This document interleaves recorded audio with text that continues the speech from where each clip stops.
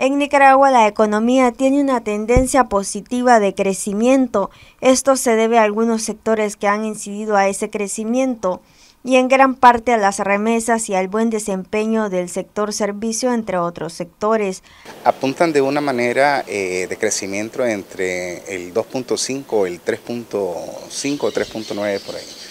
Eh, sin embargo, creo que estoy totalmente de acuerdo con esa visión eh, de crecimiento porque a pesar de ello, la inyección de remesas, que sin lugar a duda probablemente estarán arriba de los 3.9 millones eh, de dólares en el próximo año puede estar orientado también a, un, a una inyección ¿verdad? dentro de lo que es el sistema líquido que tendremos a nivel eh, comercial.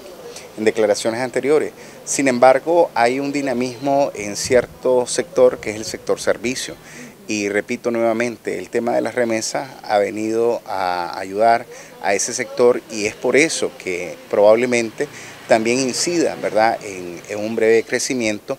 Eh, creo que la desaceleración que tiene un poco ¿verdad? Eh, la economía en el sentido de que vamos con un crecimiento, pero a un ritmo desacelerado. O sea que es un crecimiento que es sumamente lento.